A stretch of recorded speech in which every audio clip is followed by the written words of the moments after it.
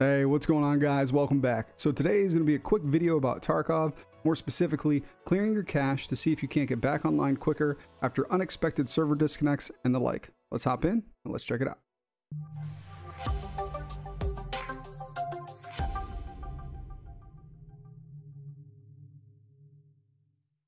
Alright, so there's quite a few errors you guys can face in Tarkov. If you played, you, you know you know what I'm talking about.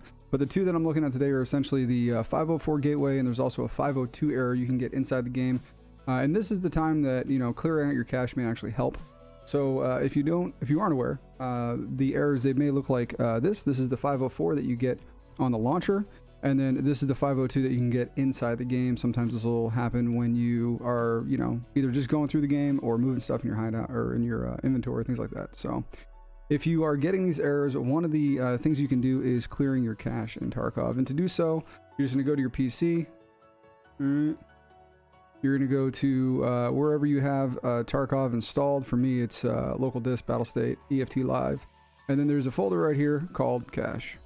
Go in there, grab it, nuke it, and it's literally that simple. Doing so um, will uh, clear out your cache and it can alleviate some of these issues that you guys uh, may be facing. So if you guys are having issues with your connectivity, issues getting back in, try that out. Hopefully that works. And um, that's it. Like I said, super short, super sweet.